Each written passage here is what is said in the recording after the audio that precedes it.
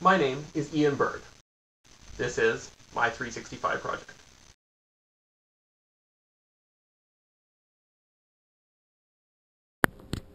Oh, hi there. It's day 106.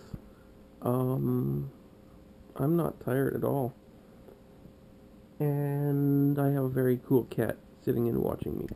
Check this out. What yet?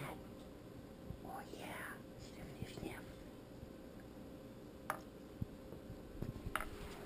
That's my cat being famous on YouTube. Um, yeah. Today's Saturday. Wait, it's Saturday, right? Okay, it's Saturday today. It's the first full weekend I've had off in a while. So I'm really looking forward to having a second day off in a row. It's great. Um, did a big gro- grocery shopping trip today. I know you really don't care about the things that I've done today, I'm just gonna stop saying that. Um, I was thinking I haven't rant like I ranted yesterday, and nobody commented or liked it. So, well, maybe they have. I just haven't checked. But I'm pretty sure nobody's commented or liked it. So I'm gonna rant again on transit because Leanne said I was supposed to rant on transit. So, have you ever been on one of those buses where you're where it says push push the strip and to open the door like the back doors and you, you push the strip and then it opens the doors. And have you ever seen those stupid stupid people that don't know how to make the strip work?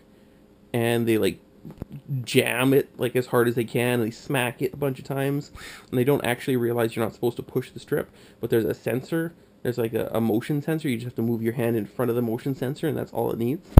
And then yeah those stupid people that like yell at the uh, the bus driver when the door doesn't open even though they're like not doing what they're supposed to to make the door open. And yes this, it's pretty much all i do when i'm on the bus every day. I just watch stupid people try to open this bus door and think how stupid they are. And i'm like really? Really? How ridiculously stupid are you if you can't figure out how to make a freaking city bus door open? Especially when in big words it says press here like ow. hey i'm sorry i didn't mean it so yeah um that's my rant for transit.